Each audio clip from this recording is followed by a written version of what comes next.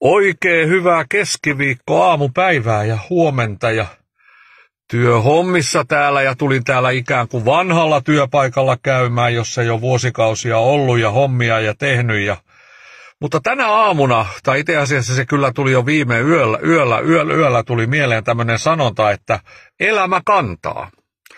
Aina silloin tällöin kuulee tämmöisen sanan, että elämä kantaa. Mutta mun kysymykseni tänään tässä aamupäivässä on se, että kantaako se elämä?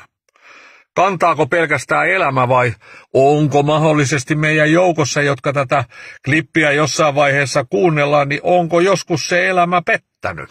Onko elämästä pohja pettänyt? Vai onko niin, että se elämä on kantanut aina?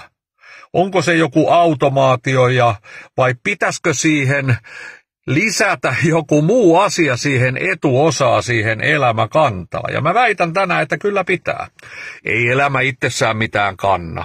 Se välillä romahtaa ja välillä pettää ja, ja välillä sortuu ja, ja välillä tuntuu, että missä se elämä on. Mutta sitten jos siihen elämä kantaa etuliitteeksi laitetaankin, että Jumala elämää kantaa niin se on ihan eri asia. Semmoinen on yksi laulukin, kaale ihmiset laulaa sitä ja Jumala elämää kantaa, jotenkin näin se nyt on, mutta jos siihen liitetään tämä sana Jumala elämää kantaa, niin sitten me ollaankin jo aivan erilaisilla pohjalla, aivan erilaisella kantovoimalla. Sillä Jumala on kaiken luonut. Jumala on luonut ihan kaiken, myös ihmisen. Jumala on antanut meille elämän. Ja jos Jumala kerran on antanut elämän, niin Jumala myös elämää kantaa. No kantaako Jumala sitten elämää meidän se kohdalla silloin, kun se elämä sortuu ja siitä elämästä pohja katoaa? Näin on monen ihmisen elämässä ollut. Sairauden, menetyksen, päihteiden, konkurssien, ties minkä monien syiden takia yhtäkkiä siitä elämästä putoaa pohja.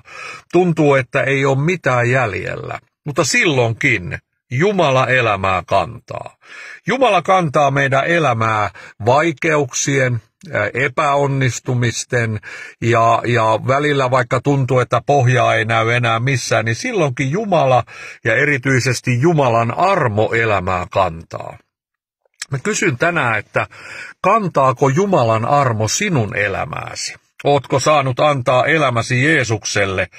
Jos oot, niin Jumala elämää kantaa. Jumala kantaa myös sun elämää silloin, kun tuntuu, ettei mikään enää kestä ja pohja on pudonnut pois. Usein tämän elämän varrella on joskus ollut itselläkin sellaisia tilanteita, että tuntuu, että pohja pettää ja, ja, ja ei pääse enää eteenpäin ja tuntuu, että vajoo vaan alaspäin. Ja opetellut tässä 62 vuoden aikana siihen, että miten se Jumala kantaa silloin mun elämää. Ja se Jumala kantaa meitä omassa kädellään, omilla käsillään. Jumala elämää kantaa, että vaikka välillä pudotaan syvällekin ja tuntuu, että pohja pettää, niin Jumalan kädet on meitä vastaan ottamassa. Jumalan armo kantaa silläkin hetkellä. Ja itse asiassa, ollaan ihan rehellisiä, niin Jumalan, Jumala kantaa elämää ihan kaikkialla. Ja tämä Jumalan kantovoima liittyy aina Jeesukseen Kristukseen.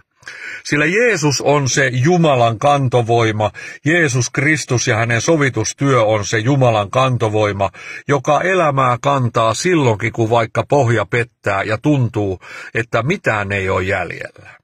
Mä jotenkin koen tänään hyvin vahvasti tässä hetkessä, että tätä pientä videoa kuuntelee joko tänään tai myöhemmin sellaisia ihmisiä, joiden poh- elämässä pohja on pettänyt.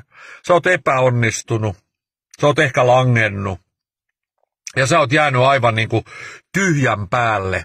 Jollakin on työpaikka mennyt, jollakin on ehkä mahdollisesti avioliitto hajonnut.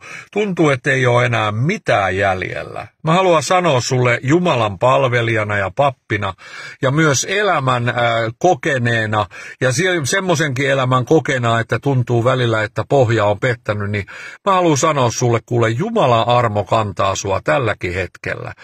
Anna koko elämäsi, luovuta koko elämäsi Jeesukseen haltuun. Jumalan Jumalan armon haltuun. Jumala elämää kantaa ja sinä saat olla siinä Jumalan kantovoimassa, vaikka siltä ei aina tuntuskaan, niin siitä huolimatta Jeesus on se, joka kantaa meidän elämää. Ja hän haluaa kantaa meidät ei vaan ainoastaan tässä ajassa, vaan tämä Jumalan kantovoima, elämän kantovoima Jeesus, hän kantaa kerran meidät perille asti, armosta pelastuneet, kannetaan perille asti, sinne jossa Jumalan kantovoima on aivan täydellinen. Sen takia jokainen ystävä olkaa tänään siunattuja Jeesuksen nimessä. Kiitos taivaallinen Isä, että Herra sinä tiedät ja tunnet ne ihmiset, joilta pohja on pettänyt, joilta elämä on sortunut. Nyt Isä mä rukoilen sitä. Anna Jumala sellainen usko jälleen takaisin tällaiselle ihmiselle, että Jumala elämää kantaa ja myös minun elämääni. Amen.